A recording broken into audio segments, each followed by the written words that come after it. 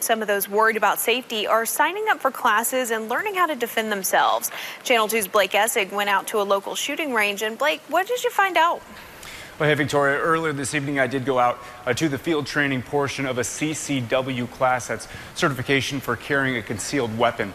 Now, around 19 people gathered in the freezing cold to practice. Organizers tell us they booked out fast.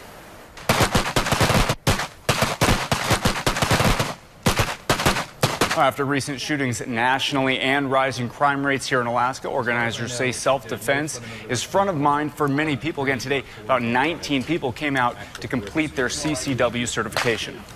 With the break-ins, the robberies, the car thefts, you know, people find themselves, you know, not really prepared for what could happen if it goes sideways. Well, Barbara Hopkins from Eagle River agrees, saying the criminal element seems bolder. She hopes she never has to fire a weapon, but as a beginner, she wants to be prepared if that moment comes. Because I've never fired a weapon before, this is an excellent class, and they're very patient and understanding with me since, you know, I'm having a hard time loading my magazine.